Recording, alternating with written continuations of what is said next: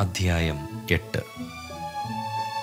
അവൻ ഏഴാം മുദ്ര പൊട്ടിച്ചപ്പോൾ സ്വർഗത്തിൽ ഏകദേശം അരമണിക്കൂറോളം മൗനതയുണ്ടായി.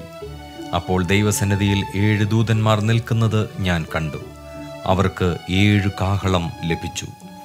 മറ്റൊരു ദൂതൻ സ്വർണ ധൂപകലശവുമായി വന്ന് യാഗപീഠത്തിനരികെ നിന്നു. സിംഹാസനത്തിന് മുമ്പിലുള്ള സ്വർണപീഠത്തിന്മേൽ സകല വിശുദ്ധന്മാരുടെയും പ്രാർത്ഥനയോട് ചേർക്കേണ്ടതിന് വളരെ ധൂപവർഗം അവന് കൊടുത്തു.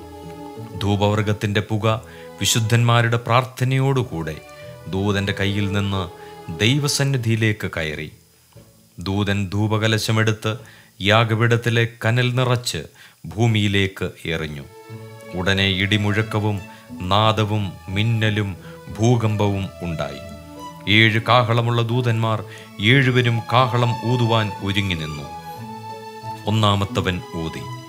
അപ്പോൾ രക്തം കലർന്ന കൽമഴയും തീയും ഭൂമിമേൽ ചൊരിഞ്ഞിട്ട് ഭൂമിയിൽ മൂന്നിലൊന്ന് വെന്തുപോയി. വൃക്ഷങ്ങളിൽ മൂന്നിലൊന്ന് വെന്തുപോയി.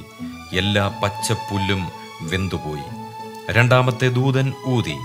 അപ്പോൾ തീ കത്തുന്ന വൻമല പോലെയൊന്ന് സമുദ്രത്തിലേക്കെറിഞ്ഞിട്ട് കടലിൽ മൂന്നിലൊന്ന് രക്തമായി തീർന്നു സമുദ്രത്തിൽ പ്രാണനുള്ള സൃഷ്ടികളിൽ മൂന്നിലൊന്ന് ചത്തുപോയി. കപ്പലുകളിലും മൂന്നിലൊന്ന് ഛേദം വന്നു. മൂന്നാമത്തെ ദൂതനൂതി.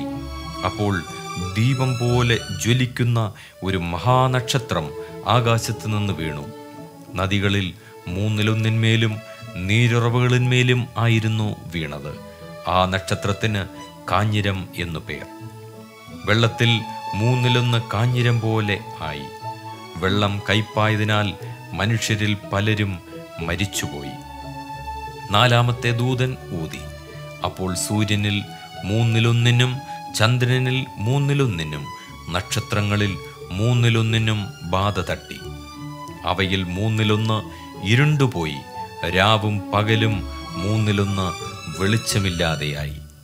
അനന്തരം ഒരു കഴുക്. ഇനി കാഹളം ഊതുവാനുള്ള മൂന്ന് ദൂതന്മാരുടെ കാഹളനാദം ഹേതുവായി. ഭൂവാസികൾക്ക് കഷ്ടം കഷ്ടം കഷ്ടം എന്ന് ഉറക്കെ പറഞ്ഞുകൊണ്ട് ആകാശമധ്യേ പറക്കുന്നത് ഞാൻ കാണുകയും കേൾക്കുകയും ചെയ്തു.